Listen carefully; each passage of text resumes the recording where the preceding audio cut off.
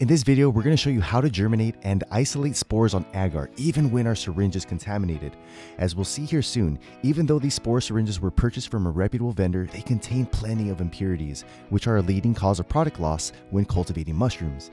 These losses can easily add up and cost an underprepared or unknowing cultivator hundreds of dollars in failed attempts. We're going to start off by inoculating three plates for each syringe with 1 ml of spore solution.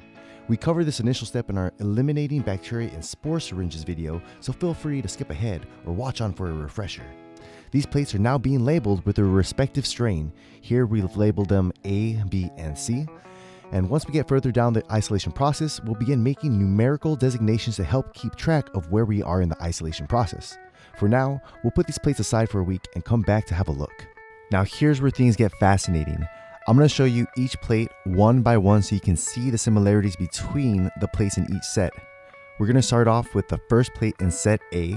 So just give me a moment here while I pull the plate into focus. And as you can see, we have nice fluffy mycelium throughout the plate. However, we also see these small colonies of bacteria growing as well. These are the little round dots you'll notice spread all across the surface of the plate. Here's the second plate for syringe A, and you'll notice the same bacterial colonies forming throughout the plate, with the densest colonies forming between the 12 and the 3 o'clock position.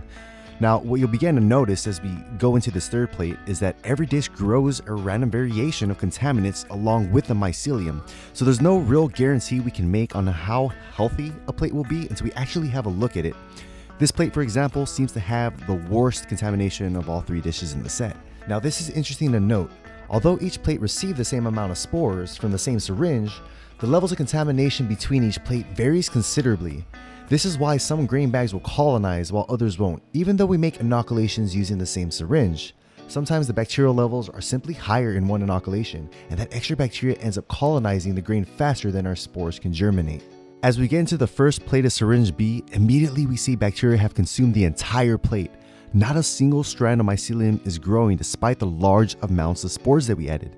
And as we open up the second plate, you'll see that we still have no mycelium.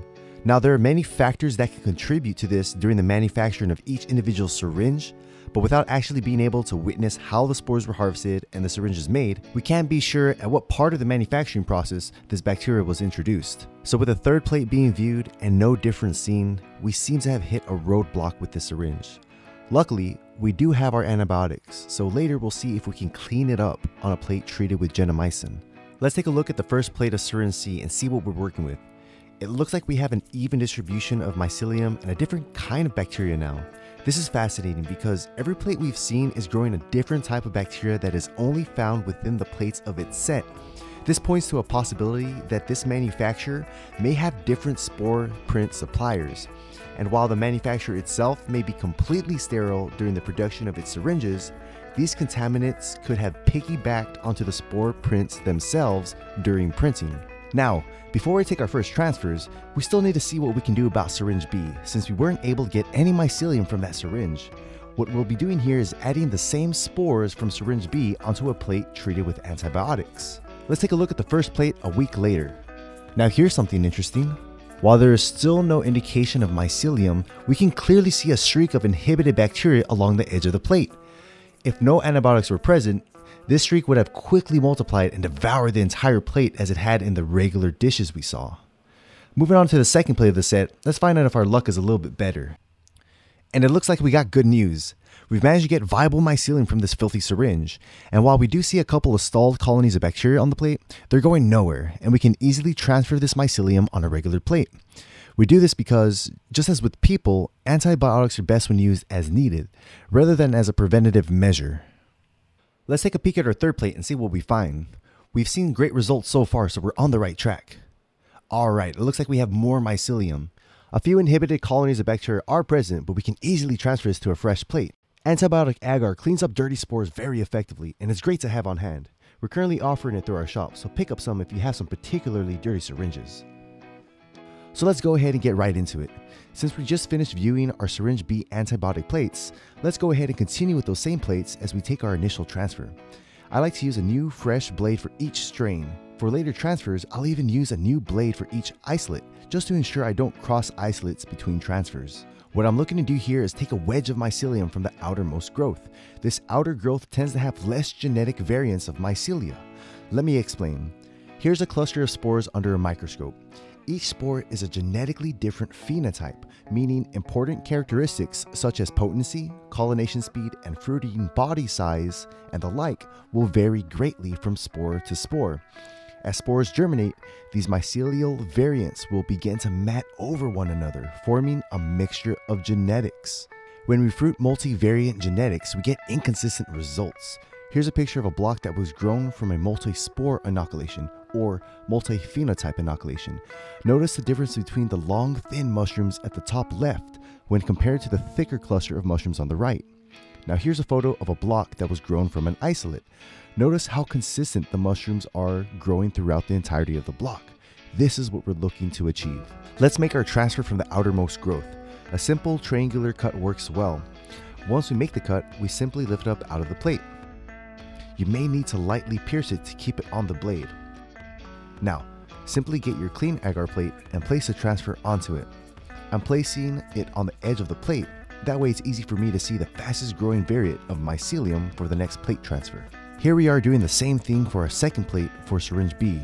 We make our triangular cut and lift it up out of the plate and carefully place it onto our fresh plate. Now we're going to move on to our first plate of syringe A. This will be a little bit more of a challenge since all of the variants are growing on top of each other, making it difficult to distinguish where the outermost growth is. Also, we have these little colonies of bacteria throughout the plate that we need to be careful not to transfer over to our new plate. So what I'll do is select a piece of mycelium from the center of this little growth right here to take my transfer. This time I'll place the transfer in the center of my plate, that way I can easily see the variants growing out from the center for the next transfer. We'll do the same for our other two plates for syringe A and now move on to syringe C. Since the mycelium hasn't expanded much in these plates, I'm simply going to make a transfer through one of these colonies and take a look at the variants as they grow out on a fresh plate. After finishing up with all the plate transfers for syringe C, all we need to do now is label our plates. Just as before, I'll go ahead and write out the strain of each plate and place them on their respective transfers. We'll start using designations for our next transfer, so for now, we'll just label these A and C. We'll also do the same for syringe B, which is being held in another box. And as you see, I like to store my cultures upside down. That way, any possible contamination that could have gotten into my cultures has to work against gravity to reach the agar. Well, that's it for our first video in our two-part series on spore isolation. We'll be uploading our second video here soon, so if you're curious how our first round of isolation turned out, keep an eye out for that. Take a look at our store to pick up cultivation products and agar. Every order helps to keep us creating informative content. For now, thanks for watching and we'll catch you in the next one.